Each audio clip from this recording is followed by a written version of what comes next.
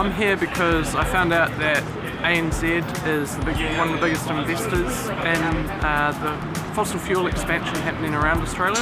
I've got my children's savings accounts here and I think it's counterintuitive to have money invested with a bank that's investing its money, actually my children's money, in something that's really contrary or um, against my children's interests. It's fantastic to see other people who are, um, you know, thinking, what what can I do personally? I just think this is a really good sort of, um, you know, different approach, a different means by which to, to get attention. It's a, a way to send a message, a sort of message that I've been wanting to send for a long time.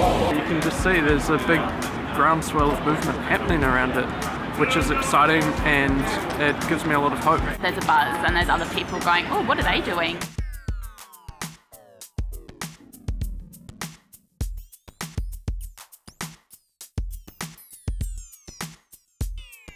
Oh, look, it's not as hard as it seems. Yeah, I think the average person like me can easily make these changes, you know. It's so easy to change an account over. Two steps, basically. Close your account, sign some paperwork, and then take the money out. What I would say to ANZ customers or any customers is have a look at where your money is and what it's doing. It's about taking a moral stance that uh, it's no longer uh, socially or morally responsible to invest in the fossil fuel industry. Go for it.